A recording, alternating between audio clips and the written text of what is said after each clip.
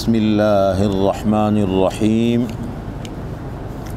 क़ुरान करीम की कुछ सूरतों के बारे में हमने आपको बताया कि किस सूरत में अल्लाह के रसूल सल्लल्लाहु अलैहि वसल्लम ने फ़रमाया है, क्या फ़ायदा है उसके पढ़ने से। सूरह बकरा के बारे में बताया, सूरह यासीन के बारे में बताया, सूरह कहफ़ के बारे में बताया आज हम बताएँगे सूरह वाक़ के बारे में। देखें, सबसे पहली बात यह है, इंसान की जो बुनियादी ज़रूरियात है, ज़िंदगी गुजारने के लिए, सबसे अहम ज़रूरत है इंसान की माश। कारोबार है, माश है, इसलिए कि ज़ाहिर बात, इंसान को ज़िंदगी गुजारनी है, और सबसे बुनियादी ज़रूरत है इंसान की है। और मेरे ख़्याल में दुनिया में जितने मामलात है या जितने दुनिया के अंदर मसाइल है, उसकी बुनियादी वजह भी यही है। माश का मसला है। और इस हवाले से अल्लाह के रसूल ने हमें बहुत ज़बरदस्त तालीम दी है। अगर हम उसको संजीदे लेने की कोशिश करें और उस पर यकीन रखें और उसको अपना मामूल बना लें। देखें, एक तो इंसान को अल्लाह ने मुकल्लब बनाया है मेहनत का। मेहनत तो करनी है, वरना वो तवक्ल के ख़िलाफ़ हो जाएगा। तवक्ल ये है कि अपनी मेहनत जारी रखें, अपनी कोशिश जारी रखें, बाकी नतीजा अल्लाह पे छोड़ दें। नतीजा अल्लाह ताला पे छोड़ दें। अल्लाह करते हैं फिर सब। लेकिन साथ साथ इन चीज़ों का अहतमाम हो तो उससे बड़ी बरकत शामिल हो जाती है। खसूस हमारे दीनदार हजरात, जो नमाजी हजरात हैं, दीन से किसी न किसी तरीके से ताल्लुक़ रखते हैं, उनको तो बहुत ज़्यादा इन चीज़ों का अहतमाम करना चाहिए। वो है सूर वाक़ की तिलावत। हज़रत अब्दुल्ला बिन मसरूद रदी अल्लाह तु की रिवायत है कि आप सल्लल्लाहु ने फरमाया, मन करा सूरत अलवाक़ाती कुल्ल लैलतिन लम तुसिबहु फ़ाक़तुन अबदा। जो हर रात सूर वाक़ पढ़ने का अहतमाम करेगा, कभी अल्लाह ताला उसको फ़क्र फ़ाक़ा में मुबतला नहीं करेंगे।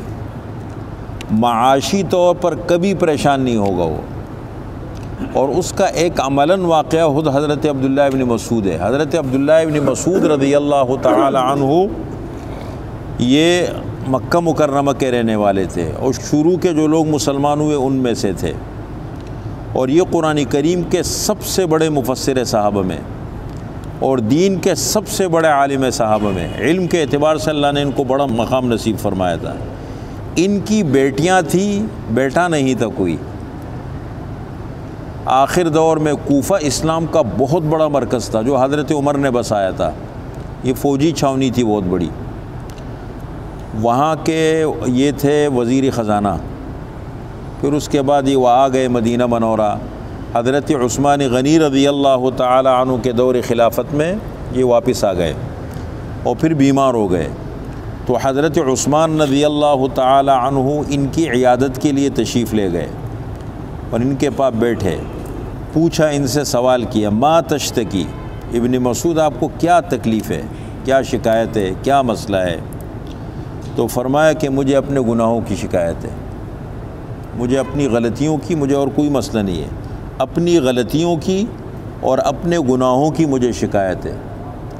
फिर पूछा इनसे कि माँ तश्तही, आप क्या चाहते हैं? आपकी ख्वाहिश क्या है?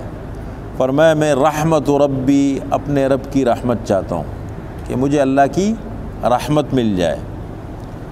तो हज़रत उस्मान रज़ी अल्लाह ने फरमाया, अला आमुर कभी तबीबिन मैं आपके लिए किसी तबीब का, हकीम का बंदोबस्त न कर दूँ। इंतज़ाम आपका इलाज कर लेंगे। तो फरमाया कि अत तबीब व अमरजनी, तबीबी ने तो मुझे बीमार किया है। हकीकी तबीब कौन है? असल हकीम, तबीब, शिफा देने वाले कौन है? तो फरमाया अत तबीब व अमरजनी, तबीबी ने तो मुझे बीमार किया है। तो हज़रत उस्मान ने फरमाया कि मैं आपके लिए किसी अतिया वगैरह का हुक्म कर देता हूँ, कुछ पैसों वगैरह का बैतुलमाल से, आपके लिए ख़र्चे वगैरह का।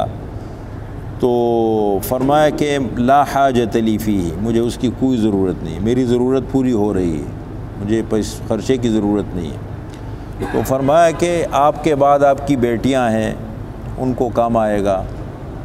तो फरमाया कि आपको आपको मेरी बेटियों की बहुत ज़्यादा फ़िक्र लगी है जब से मैंने रसूलुल्लाह सल्लल्लाहु अलैहि वसल्लम से ये सुना है कि मन करा सूरतलवाक़ाती कुल्लतिन लम तुसिब अबदा, जो शख्स हर रात सूर वाक़ पढ़ने का अहतमाम करेगा, अल्लाह उसको फ़ख्र कफ़ाक़ा में मुबतला नहीं करेंगे।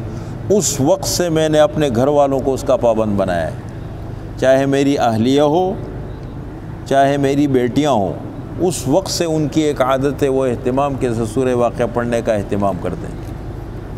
छोटी सी सूरत है, सत्ताईसवें पारे में है सूर रहमान के बाद तीन रुकू है। मेरी एक मुस्तकिल आदत बनी हुई है, मैं मगरिब की सुन्नतों में पढ़ लेता हूँ उसको। कभी कभी मगरिब में सुन्नतों में न पढ़ो तो बैठ के अपने मुसल्ले पे वही सुन्नतें पढ़ी, वही बैठे बैठे पढ़ लेता हूँ। आदत हो गई है। लेकिन मैं उसके फ़ायदे महसूस, बहुत फ़ायदे हैं उसके। अल्लाह मसले बरकत अल्लाह ताला डालते हैं इसमें। देखिए आपके पास पैसे बहुत ज़्यादा हो लेकिन मेन चीज़ है बरकत। आपकी ज़िंदगी अच्छी हो आपके मामला अच्छे हो आपके टेंशन परेशानी ना हो। कभी कभी आदमी पर ऐसे मसाइल आ जाते हैं कि आदमी के वहम गुमान में भी नहीं होते। वो तो कि मैं तो बड़ा अमीर आदमी हूँ मैं तो मालदार आदमी हूँ पैसा हर चीज़ का हल नहीं है। आफ़ियत की ज़िंदगी हल है हर मसले का हल है। तो ये सूर वाक़ पढ़ने का अहतमाम। मगरिब की के बाद गुरूब के बाद, सोने से पहले किसी भी वक्त पढ़ सकते हैं। मगरिब के बाद पढ़ लें ईशा के बाद पढ़ लें, सोने से पहले जब अल्लाह ताला मौका दे दे, अपनी आदत बना लें, नमाज़ पढ़ ली, वहीं बैठे बैठे पढ़ लिया। अपने दफ्तर में बैठे हुए, कुरान है, वहीं बैठे बैठे पढ़ लिया। और आजकल तो मोबाइल में भी कुरान आ गए। तो हर जगह गाड़ी में बैठा हुआ पढ़ लिया, चार मिनट पढ़ लिया, सुकून से साइड पे कहीं बैठ के पढ़ लिया, अपना सुकून से रवाना हो गए। अपनी ज़िंदगी को पुरसकून बनाएँ। अपनी ज़िंदगी को बामकसद बनाएँ। हमारी एक सोच हो ज़िंदगी को। ये नहीं है कि जैसे दुनिया इधर गया, उधर गया, पर क्यों, क्या कर रहा हूँ? बस ज़िंदगी गुजर रही है। नहीं, ज़िंदगी किसी मकसद के तहत हो। मेरी ज़िंदगी गुजारने की एक सोच हो, एक उसूल हो, बहुत बरकत होती है। इसलिए अपनी ज़िंदगी के मकासद में, अपनी ज़िंदगी के मामूलत में सूर वाक़ को ज़रूर शामिल कर लें। बहुत फ़ायदा होगा। आप देखें, और अकेले नहीं अपने घरों में जा कर के ख़वातीन को वालदा है, वालिद है, अहलिया है, बच्चे हैं बहन भाई हैं, घर के बाकी अफराद है। बल्कि इन चीज़ों को आगे बताएँ, जो आपके बेतकल्लुफ़ साथी है, बैठे रहते हैं, बस दुनिया की तबसरे चलते रहते हैं, दुनिया के तस्करे चलते रहते हैं। अपनी ज़िंदगी में, अपने तबसरों में अल्लाह और रसूल को शामिल करें। अपने दोस्तों को बताएँ, इस बात को आगे फैलाएँ कि भाई देखो, हमारा एक बुनियादी मसला, माश है। ये बहुत अहम मसला है और सबसे बड़ी चीज़ इस वक्त दुनिया में बरकत है, जिससे उम्मत ना आशना हो गई है, लोग ना आशना हो गए इसलिए इसकी तरगीब चलाएँ, बताएँ, जहाँ बैठे दोस्तों को बोलो, भाई सूर्य वाक़ पढ़ा करो। नहीं आता किसी कारी साहब को अपने महल्ले के मज़े मुझसे एक मरतबा ज़रा सुन ले, कोई गलती तो नहीं है मेरी। मैं इसको पढ़ने की तरतीब बना रहा हूँ तो एक मरतबा मैं सुना के देख लूँ, कोई गलती तो मेरी नहीं है इसमें।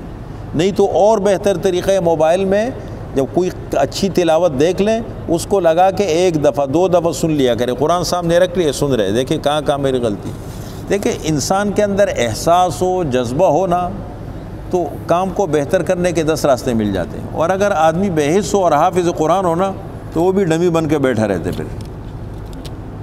इसलिए मैं तो अब ख़ुद भी पढ़ता हूँ आपको मैं एक ऐसी दावत दे रहा हूँ कि मैं ख़ुद भी अम, मेरा भी ख़ुद भी अमल है। इसलिए मैं अलावज हिल बसीर आपको दावत दे सकता हूँ। इसलिए मेरी ये आपसे दरख्वास्त है कि जितने भी हमारे साथी हैं दोस्त हैं इसको ख़ुद भी पढ़ें मामूल बना लें और उसको आगे अपने दोस्तों को बताएँ। इन बहुत फ़ायदा होगा आपको।